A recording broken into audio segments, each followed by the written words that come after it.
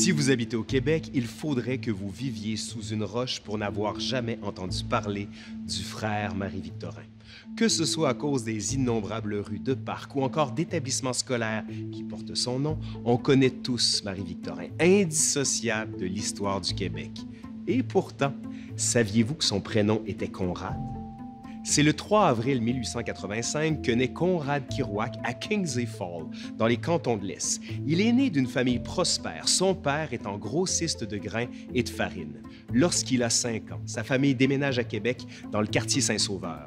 Il fera toute sa scolarité chez les frères des écoles chrétiennes, tout d'abord à Québec, puis à Montréal. En fait, c'est inspiré par ses enseignants qu'il décide lui-même d'entrer chez les frères afin de poursuivre une carrière en éducation. C'est au mois d'août 1901, lors de sa première année chez les frères des écoles chrétiennes, qu'il prend le nom de Marie Victorin. En 1903, il commence sa carrière d'enseignant au Collège de Saint-Jérôme, mais il tombe malade de la tuberculose et il doit suspendre ses activités. Condamné, si on peut dire, à vivre dans la nature et au grand air, il profite de cette pause pour s'initier au monde des plantes.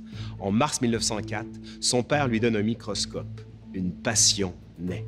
Le frère Marie-Victorin, c'était quelqu'un qui était euh, assez euh, intense et très intelligent.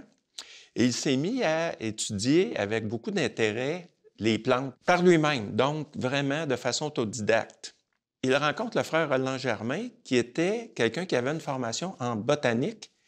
Donc, cette rencontre-là était aussi euh, bénéfique parce que euh, le frère Roland Germain a pu l'initier à d'autres aspects de la botanique, notamment la botanique de terrain. Il faut dire qu'à cette époque-là, il n'y avait absolument personne au Canada français qui avait une culture euh, de sciences naturelles au niveau universitaire. Ça n'existait tout simplement pas.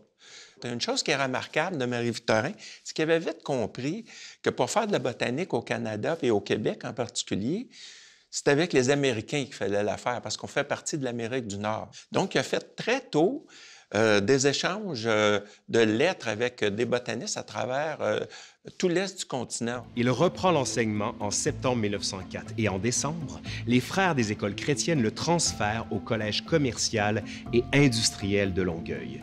Pédagogue hors pair, avec un grand sens de l'initiative, son passage au Collège de Longueuil sera marquant. En plus d'enseigner la composition française, l'anglais, la géométrie et l'algèbre, il écrit et met en scène des pièces de théâtre et il écrit des billets forts nationalistes pour le journal Le Devoir. Il est même l'intellectuel le plus virulent de l'entre-deux-guerres. Personne au Québec n'a développé une vision aussi moderne que lui. Un religieux pourtant. Tous les articles de Marie-Victorin qui sont publiés dans Le Devoir entre 1917 et 1944, au fond, touchent le développement global du Québec, mais à travers l'angle de la science et de la modernisation des institutions toujours. Et donc, par exemple, il y a un texte absolument extraordinaire en 1925 dont le titre est Le Québec, un pays à découvrir et à conquérir. Donc, il est en train de dire aux Québécois, à l'élite québécoise, le Québec ne nous appartient pas. Il a été développé par des étrangers. Il est temps que par la formation scientifique, on connaisse nos plantes, on découvre nous-mêmes nos minéraux par une école de géologie. Voyez-vous, donc, le discours modernisateur. Il y a un autre aspect méconnu, mais qui montre L'avant-gardisme de la pensée de Marie-Victorin, c'est bien sûr sa réflexion sur la sexualité humaine, qui nous donne accès, par ses lettres confidentielles, à l'ampleur de sa pensée sur le mariage des prêtres. Il était pour le mariage des prêtres, c'est clair. Il était pour le vote des femmes. Et lui, il se dit, Dieu nous a créés avec un corps. Donc pour lui, la sexualité, ça ne peut pas être malsain. Pendant qu'il enseigne au collège, il publie plusieurs notices, des monographies et des articles scientifiques sur la botanique canadienne et québécoise. Cette activité foisonnante lui vaut en 1920 d'être embauché comme professeur agrégé de botanique à l'Université de Montréal qui ouvre tout juste, et ce, même s'il n'a aucun diplôme universitaire. Les années à l'Université de Montréal seront très prolifiques pour le frère Marie-Victorin.